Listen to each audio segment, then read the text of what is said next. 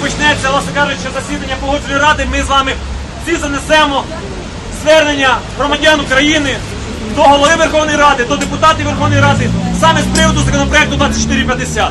Депутати Верховної Ради не бояться, вони дійсно перед камерами кажуть, ми проти даного законопроекту. Ставлять свій. Я думаю, що ви саме в той ситуації, хто має захищати, він не забороняє нас захищати молодь, тому числі і громаду. Я Власне, хлопці, але є, наприклад, педофіли. Якщо вирішить, що проведемо акцію о, е, дозволити е, сексуальні відносини з 10 років.